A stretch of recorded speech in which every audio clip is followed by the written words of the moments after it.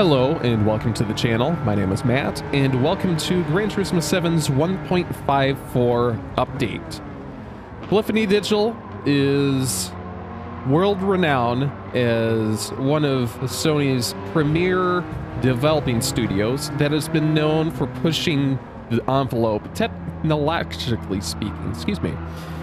And this update proves that once again, Polyphony Digital is doing just that. A massive 32 gigabyte update for PlayStation 5, and this is mainly for PlayStation 5 Pro, enabling some new enhancements for, again, specifically PlayStation 5 Pro.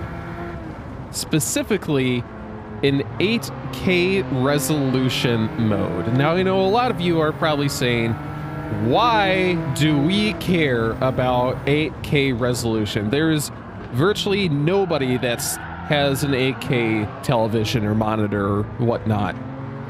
And I do have to remind you all that it was back in 2012 that the first 4K TV was released. I want to say it was in November, and it was by LG.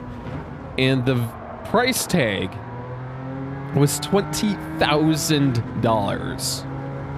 And Sony actually very soon thereafter released its own 4K TV, and its price tag was respectively $25,000. So it's only been 12 years, and now 4K televisions, I'm running a 4K television right in front of me, and I only got it for 150 bucks.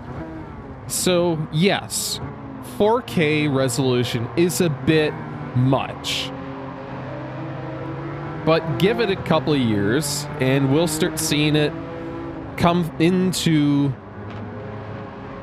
the market a little bit more and we'll start having more and more of them. But anyway, that tangent aside, there's also some PlayStation VR 2 enhancements again for the PlayStation 5 Pro. I believe that it's more geared towards higher frame rate. So it's now, when I've been using PlayStation VR 2 for the PlayStation 5, it's normally been what I feel like 60 hertz. I think the PlayStation 5 Pro with the PlayStation VR 2 is going to be 120 hertz. So it's going to be a lot smoother, a lot higher frame rates going on there. So for us mortals who do not have PlayStation 5 Pros or don't have that kind of money to spend on them, the update does give us quite a bit of content other than that. So first and foremost, the car that we're currently driving is the 2020 Porsche 911 Turbo S, the 992. We also got the Ford Escort RS Cosworth, the 1992 model. You can get that in the used car dealership for 147,000 credits. So here's the big one that we just got. It's 1955 Mercedes-Benz W 196R for 20 million credits at the Legends car dealership. So I think there's now six 20 million credit cars in this game, and I'm actually quite glad that they're adding some very high priced vehicles. Because for a lot of us who have played this game for a long enough, we've got an absurd amount of credits in our bank that are just sitting there so please keep these coming. I, I like having these historic legendary cars that we can pick up.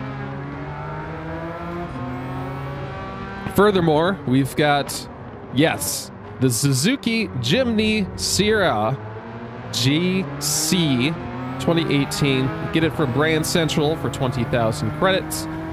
It's always fun having those weird little JDM. Not really, well, yeah, you could, I suppose you could call it JDM. But then the other really fun one is the Porsche Mission X concept from 2023. You can get that from the Brand Central for a million credits. This update, of course, also has some really nice additional features like some additional escapes as per usual, additional extra menu books. This one particularly in question is the Ferrari F40, Ferrari F50, and the Enzo. So that was kind of a big one. There are also some new wheels. This one was kind of fun. It's always great to have some of that. Uh, a couple of new engine swaps. So all in all, this update has been pretty good. Again, it's a ginormous 32 gigabytes for those 8K textures for PlayStation 5 and PlayStation 5 Pro. It's only 2 gigs for uh, for the uh, PlayStation 4 users, so that's really only the the size of the cars, I want to say, realistically. Also, what this update is, of course, Sophy AI being updated to now up to 15 courses. It has now been added to Trial Mountain, and get this one, it is on Tokyo Expressway east clockwise. So having that much higher powered AI being used on the expressway is going to be really nice, going to be really fun to experiment with how the AI is interacting with the really tight corners and the just not a whole lot of space on the expressway. So that one's going to be real fun. And of course, as we've got new cars, we've got new World Circuit events that are here to showcase being able to use these new cars. Of course, it is Grand Valley South, the Jimny Cup. Then we've got the one that we're actually currently doing, the WeatherTech Ra Raceway Laguna Seca Porsche Cup. And then finally, not last, well, last but not least, we've got the Mount Panorama Race of Turbo Sports Cars. So that was more or less to showcase the Ford Escort RS Cosworth. Let's see if we can make this last little pass here. Can we do it on the outside? Looks like we might be able to make it stick. Yes, we can. So that all being said, that's our new update. I am actually pretty excited. A lot of great stuff here.